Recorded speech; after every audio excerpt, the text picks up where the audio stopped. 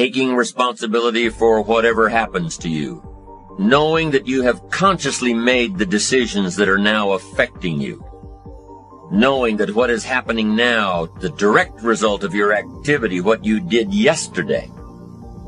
Self-reliance is basically counting on yourself, trusting yourself, being confident with yourself, being responsible to yourself, trusting the conclusions that you have developed from your study of experiences and philosophies, learning from the mistakes that you have made, being self-reliant. They say that by deciding not to carry an umbrella every day, you have made the decision to endure an occasional drenching. Translation? By not being prepared, you make the choice of getting caught in some of life's unpleasant circumstances.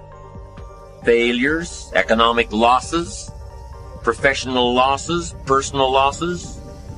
By not being prepared, it's your choice. By being prepared, you increase your chances of success, of seizing opportunities when they come your way, of being ready within yourself to take advantage of once in a lifetime situations. Some people tend to blame others for their mistakes.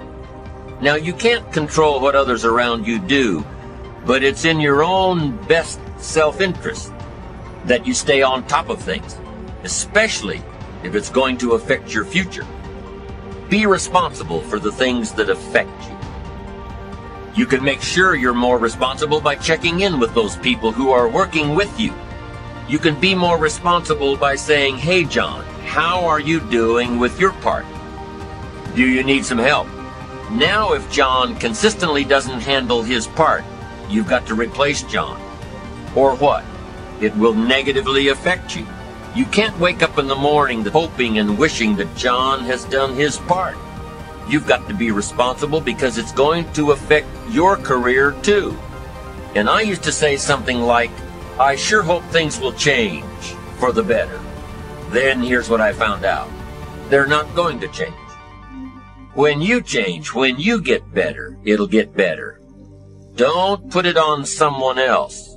Hope that someone else will change it for you. Take responsibility for yourself.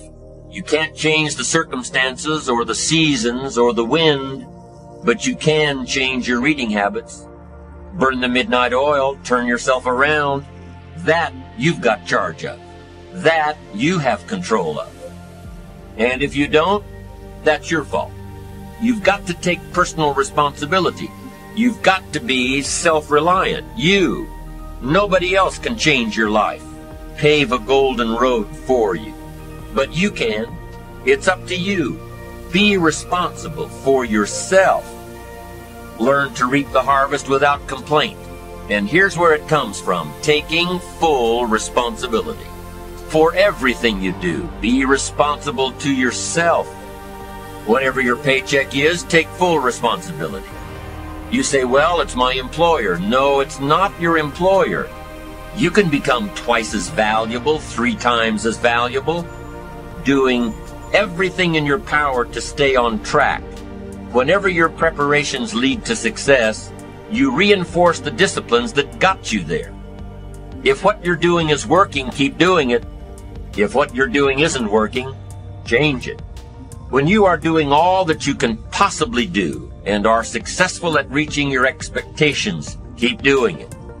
Psychologists call this positive reinforcement.